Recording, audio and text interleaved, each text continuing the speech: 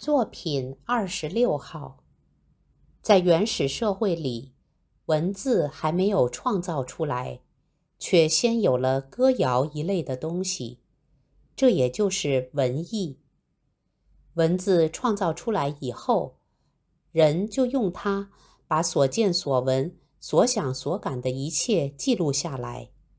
一首歌谣不但口头唱，还要刻呀、漆呀。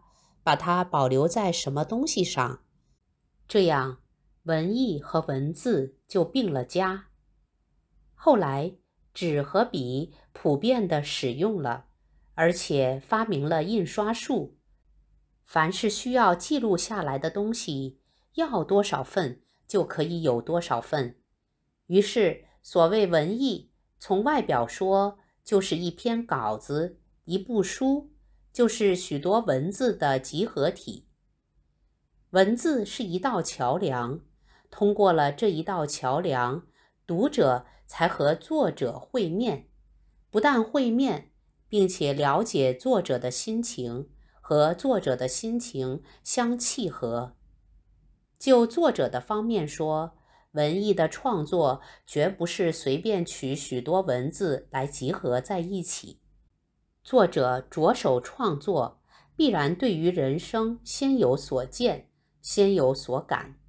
他把这些所见所感写出来，不做抽象的分析，而做具体的描写；不做刻板的记载，而做想象的安排。他准备写的不是普通的论说文、记叙文，他准备写的是文艺。他动手写。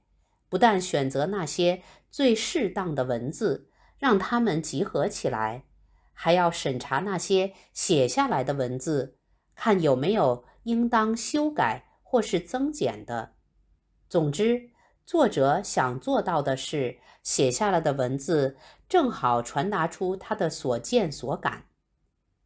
就读者的方面说，读者看到的是写在纸面或者印在纸面的文字。但是看到文字并不是他们的目的，他们要通过文字去接触作者的所见所感。节选自叶圣陶，《趋前我们的想象》。